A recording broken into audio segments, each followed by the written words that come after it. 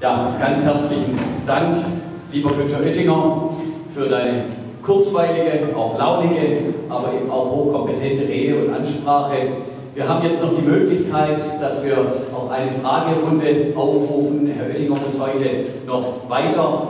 So also Sie Interesse haben, auch zum Mikro zu greifen. Wir haben wohl ein Saalmikrofon, wurde mir gerade noch zugetragen. Das können wir dann auch wandern lassen, wenn es funktioniert. Ja, es funktioniert. Gibt es denn aus dem Publikum heraus das Bedürfnis oder wie auch immer, eine Frage zu stellen? Oder Sie sind alle wunschlos glücklich. Das geht natürlich auch. Dann sind Sie natürlich umso schneller hier. Ja, bitte, Frau Toast. Also ganz herzlichen Dank für diesen weit gespannten Überblick. Und eine Sache interessiert mich besonders, nämlich die kulturelle. Wir haben ja in Europa, gerade zum Osten hin, äh, ist ja nun, sind da verschiedene kulturelle ähm, Schwerpunkte. Und wie ist die Vision, dass diese kulturellen Unterschiede, krassen Unterschiede aus meiner Sicht, ähm, nun tatsächlich zueinander finden in Europa? Was ist da die Vision? Wir können auch Fragen sammeln. Wie gesagt, wenn noch weitere Fragen im Raum wären, nicht der Fall, dann sind Sie nachher umso schneller bei mir. Das geht natürlich auch. Vielleicht möchten das auch einige. Dann Günther bitte. Liebe Frau Torres, natürlich leben wir Europäer unterschiedlich. Aber nicht nur Europäer. Auch die Badener und die Württemberger, die Alemannen, die Schwaben, auch da mit drin. Der Schwarzwälder, der Kurpfälzer, der ist sind das immer lustig. Die machen das ganze Jahr Karneval. Und so wie eben auch schon Baden-Württemberg Multikulti ist, ist Europa von einer unglaublichen Vielfalt. Sprachvielfalt, 24 Sprachen. Religionsvielfalt geprägt. Und alle haben ihre Geschichte. Die Polen sind unglaublich freiheitsliebend und haben eine Urangst, die aus der Geschichte kommt, nachvollziehbar ist, dass irgendwie Russland, Deutschland gemeinsame Sache zu ihren Lasten machen. Karl Höfter. Ich habe noch eine Frage. Kleinen Oder aber die Ungarn. Ungarn war mal ein ganz mächtiges Reich. Es gibt ja in Serbien, in Slowakei, Ungarn, die mal früher in einem Königreich gewesen sind. Und sie wurden immer Gegenstand von Kriegen gegen das Osmanische Reich. Belgrad der gleiche Fall.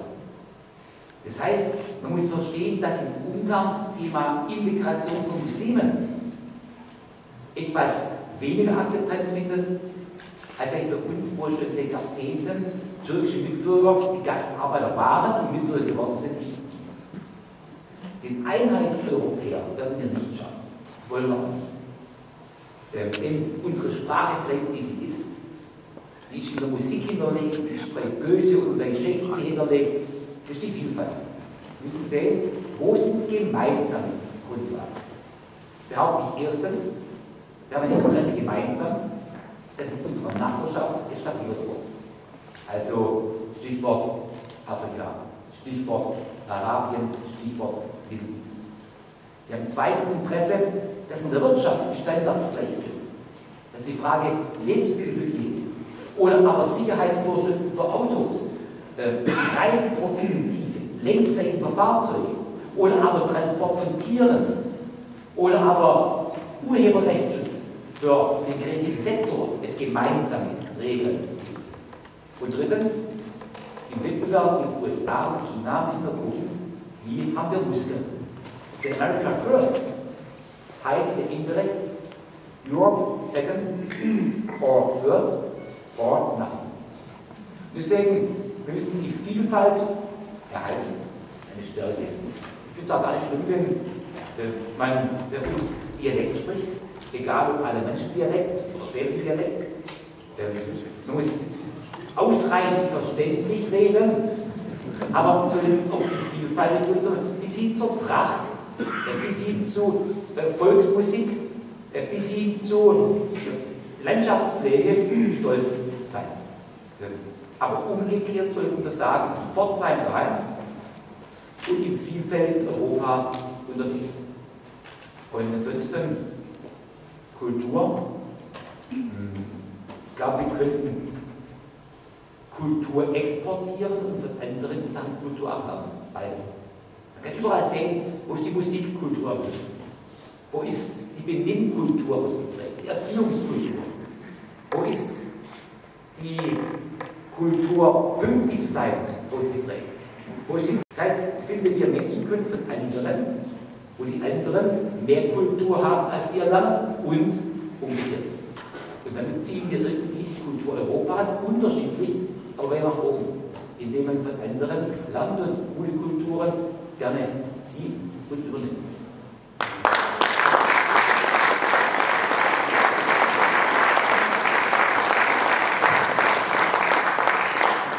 Jetzt habe ich noch zwei Fragen hier gesehen im Publikum, bitte sehr. Und dann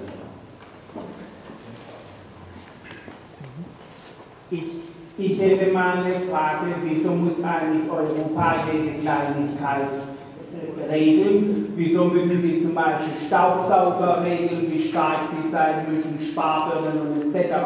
Äh, das könnten doch die Länder selber regeln. Das wäre meine Frage. Und gleich die zweite hinterher, weil dann würden wir es abschließen, weil wie gesagt, Herr Oettinger müsste dann auch noch weiter den Diskussionsteil abschließen. Äh, Philipp Dörfinger, Dörfinger mahnt schon an, dass es ja ein Schlusswort gibt. Und Nee, ich wollte noch eine Frage stellen. Ach so, ich kann immer noch rein, aber in jedem Fall. Bitte sehr. Ja, ich wollte noch etwas dazu sagen. Die Dame hat vorher gesprochen über große Unterschiede, kulturelle Unterschiede. Ich bin, könnte ich sagen, zur Hälfte Polin, zur Hälfte Deutsche. 25 Jahre lebe ich hier. Und jetzt dadurch, dass Polen leider in Polen nicht möglich ist, die Demokratie auszuleben, lebe ich die Demokratie hier aus. Und ich bin sehr glücklich, dass ich hier leben darf. Und ich kann nur beruhigen, die Unterschiede sind nicht so groß. Ich bin auch Sängerin und äh, die klassische Musik äh, haben wir Zugang als Europäer, sagen wir, äh, sind wir alle gleich, die Musiker. Ja. Und äh, ich wollte nur sagen, dass ich würde begrüßen, dass man es weiterhin glauben würde, dass die Polen sehr nah auch den Deutschen sind, in vielen, ja, trotz unserer Regierung. Dem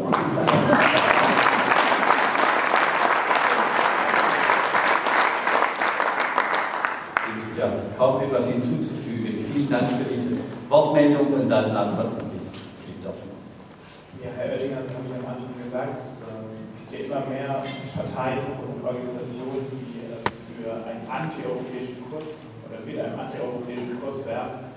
Und äh, ich würde Sie ja mal fragen, es gibt viele Jugendliche, Sie haben auch anfangs gesagt, die Europa gar nicht so wertschätzen, wie es vielleicht äh, erfahrene Menschen tun, weil die noch ein Europa der unterschiedlichen Nationen und Währungen kennen.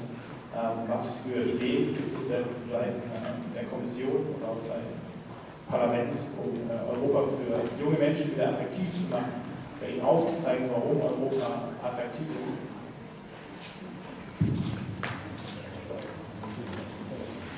Unsere Kinder ist zuallererst äh, Erziehung und das Gespräch mit Eltern und mit Schule, Lehrer sehr wichtig. Ich glaube, dass wir unseren Kindern gegenüber über unsere Geschichte, unsere Kriegsgeschichten, unsere Auswanderungsgeschichten ähm, und den Erfolg der Jahrzehnte viel sprechen müssen. Und dass unsere äh, Schulen und unsere Lehrer Orte sein müssen, wo über das europäische äh, Projekt ebenfalls informiert. Mehr als wir, aber es ist überall möglich. Ansonsten würde ich mir wünschen, dass am Sonntagabend vor Tatort nicht nur ein Bericht aus Berlin in beiden Programmen A, B und ZDF kommt, sondern auch ein Bericht aus Brüssel. Denn Eine Kochsendung weniger.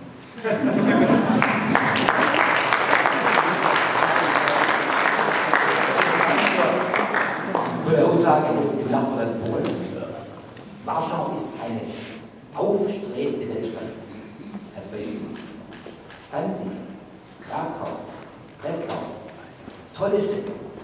Und Polen ist ein dynamisch wachsendes, wirtschaftlich starkes Land. Will zur Regierung gar nicht sagen. In Polen fehlt im Grunde eine Sozialdemokratie. Seit gleicher Lecker gibt es nur zwei Parteien. die Mitte rechts und die etwas weiter rechts. Ähm, und die bekämpfen sich aufs Messer. Die Kaczynski und die Tusk-Nachfahren. Man kann generell sagen, in Ländern, wo es eine stabile Parteienlandschaft, eine Partei zumindest, wie links, eine rechts, in Gefahr. Wenn aber diese beiden Säulen nicht bestehen oder schwach sind, wird es schwierig. Sage Beispiel. In Österreich war Präsidentenwahl. Die beiden Säulen SPÖ und ÖVP haben Kandidaten aufgestellt, die beide nicht in die Stichwahl kamen. Glückwunsch, gut gemacht. Da musste einen in jungen Jahren linken Grünen, altersmilden Grünen, so eine Art Alpenklatschi, von allen Seiten unterstützen, das gerade gegen den Juristen vorgerechnet. Oder Frankreich, gleiche Fall. Hollande und Walz, die haben vor fünf Jahren bei der Präsidentenwahl, der Wahl zur Assemblée Nationale, 52 Prozent gekriegt. Diesmal 6 bis 7. Die müssen wir erreichen. Und nach fünf Jahren von 52 auf 6. Und meine Partei, die Republikaner, hat mit Sarkozy, Juppé und Fillon eigentlich drei gute Kandidaten. Fillon lag längere Zeit vorne, aber eigentlich müssen wir Grundsatz gelten, wenn das Pferd tot ist, steigt man ab. Da muss jetzt ein Staat Macron, ohne Partei, die Demokratie retten. Und indirekt Frankreich aus der fünften Republik in die sechste gebracht. Das ging nicht. Überall sind Gefahren da, wenn Mitte links, Mitte rechts nicht stabil ist. In Deutschland ist Mitte links, Mitte rechts ausreichend stabil. Deswegen wird bei uns eine Partei links oder rechts populistisch nicht in dem Maße Chancen haben, wie es in anderen Ländern leider besteht. Wir sind auf die Wahlen in Italien vor der nächsten Jahres umso eher gespannt. Die Frage, warum müssen wir in Europa alles machen, ist berechtigt. Aber ich erwähne zwei Beispiele. Ich erwähne das Thema Staubsauger, es auch erwähnt.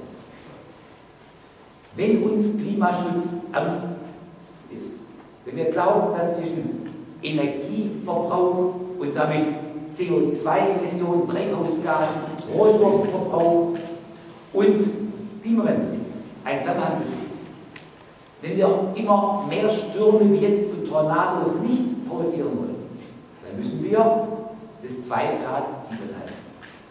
Und da gehört eben auch der Stromverbrauch in Gebäuden hinzu. Und deswegen haben wir gesagt, wir sollten bei Haushaltsgeräten schauen, dass die effizient werden und weniger Strom verbrauchen. Und es geht. Und dann hat die Industrie gesagt, in Ordnung, aber dann bitte einmal regeln und nicht 28 Mal. Denn hätten wir 28 Regelungen, dann wäre ein Motor im Staubsauger in Österreich mit 900 Watt erlaubt, in Deutschland mit 1000, in Italien mit 1200. Und dann müssten Miele, Siemens, Philips und andere 28 Motoren einbauen. Gibt es keinen Binnenmarkt mehr. Dann wird der Staubsauger in Kehl, in Straßburg nicht erlaubt und umgekehrt. Und deswegen ganz einfach lieber einmal Bürokratie als 28 Bürokratie. Ein zweites Beispiel ist im Stammtisch die Gurke. Es war vor 15 Jahren eine europäische Nahrungsmittelindustrie, also Rewe, Tengelmann, Carrefour, Lidl, Edeka und all die Länder. Der Politik gesagt, wir haben folgendes Problem. Gurken und andere Früchte werden von fern her importiert. Marokko, Israel, Spanien.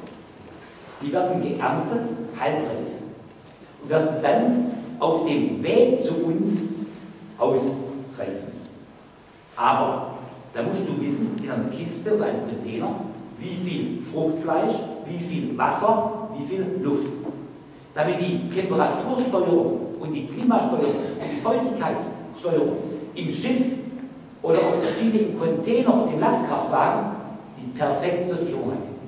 Damit die Gurke bei uns, bei Edeka, im Ladentisch grün, knackig, frisch ankommen. Deswegen hatten wir die Gurke normiert, die Form. Wir haben es in der Barroso-Kommission vor sieben Jahren ersatzlos abgeschafft. Die Form der Gurke blieb trotzdem gleich. Die hat sich bewährt. Und auch hier gilt, lieber eine Bürokratie als 28 Mal. Man es runterbrechen man auch sagen, wir machen eine Kurvennormierung in Frankreich, eine in Deutschland und dann noch eine in Baden-Württemberg und eine in Baden und eine in Württemberg. Hat ein Problem. Deswegen, es gibt eben Dinge, die man im Binnenmarkt regeln muss. Und dann besser einheitlich einmal als 28 Mal. Das sind die Gründe, warum bis hinter Birne in diesen Fragen einfach Europa halt äh, im Binnenmarkt vorangeht. Ähm, zum Teil übertreiben wir, das gestehe ich zu, aber meistens, wenn wir übertreiben, sind es Anträge aus Berlin, die nach oben treiben. Also aus dem deutschen Ministerium. Und meistens, wenn eine Regelung in Brüssel geschaffen ist, wird sie in Berliner Stuttgart noch getoppt.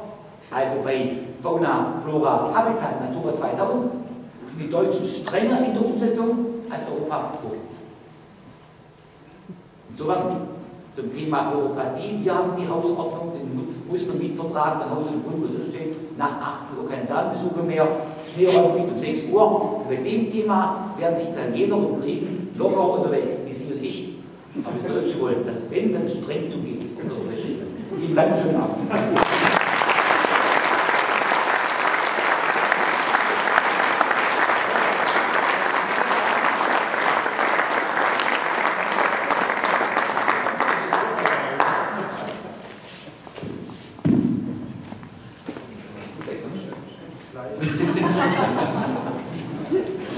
So, das Wort hat jetzt der Kreisvorsitzende der Jungen Union, Philipp Dörflinger. Und auch von meiner Seite nochmal ein ganz, ganz herzliches Dankeschön an dich, lieber Günther, auch fürs Kommen, fürs hier gewesen sein. Das war wirklich famos, das war großartig und ich glaube, die allermeisten sind doch wirklich nicht nur hellauf begeistert, sondern auch tief beeindruckt. Wir wissen Europa bei dir wirklich sehr, sehr guten Händen. Vielen Dank. Günther.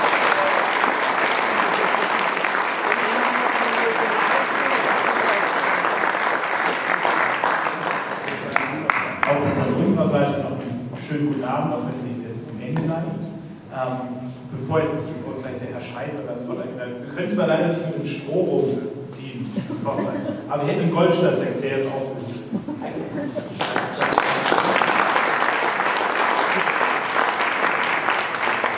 Herr Dinger, wir möchten Ihnen recht herzlich danken. Gunther hat es gerade schon angesprochen, es war wirklich sehr toll, auch Ihre Leidenschaft zu hören, Ihre Begeisterung für Europa. Das macht auch Mut. Und ich möchte an der Stelle noch ganz kurz die Situation nutzen, mich mal bedanken, ähm, auch für den Wahlkampf. Einerseits, dass wir so einen tollen Kandidaten haben, der so viel Gas gibt, so viel Power gibt. Ich glaube, das ist schon mal ein Riesenapplaus. Ja.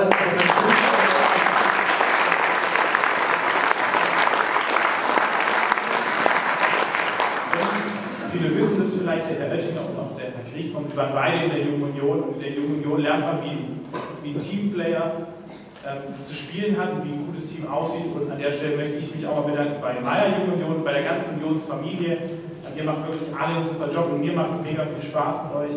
Und ich glaube, das holen wir am 24. Dankeschön.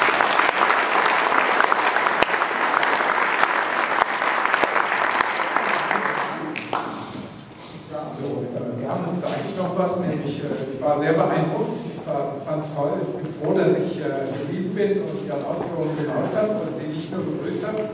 Ich habe jetzt für Sie noch äh, zum einen ein Buch hier über Rom, über das Panorama. Das zweite Buch ist die Werke von Assisi, dem großen Künstler, der sich hier ja präsentiert. Darf ich Ihnen das überreichen? Und ja, wir laden Sie jetzt ein, da gibt es noch zu trinken, relativ ordentliches Bier, hat man mir gesagt. Ähm, also insofern äh, klappt es, glaube ich, ganz gut. Und es wäre schön, wenn Sie noch ein bisschen bei uns bleiben und bald mal wieder nach Pforzheim kommen. Äh, die Erlebnisse hier in Pforzheim äh, mit Ihnen waren ja immer sehr eindrucksvoll. Damals, ich erinnere mich noch an Ihren Landesparteitag, den Sie hier geleitet haben.